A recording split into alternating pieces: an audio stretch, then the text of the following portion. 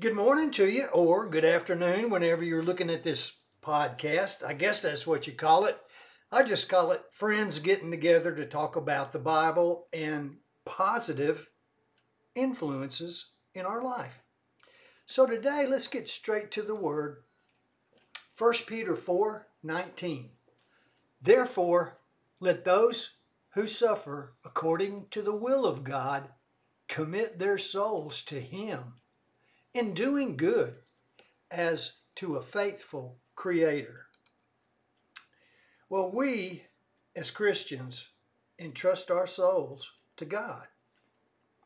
Our lives, everything we do, we give that to the Lord, especially in the midst of suffering. This really comforts us. But we need to give the Lord a shout even in the good times so He knows that we appreciate everything that He does. And we need to recognize Him as a faithful Creator who is in control of all things. God never gives us more than we can handle. If you want to research that, you can check 1 Corinthians 10 13.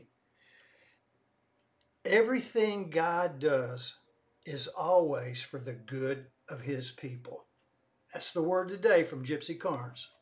Signing off.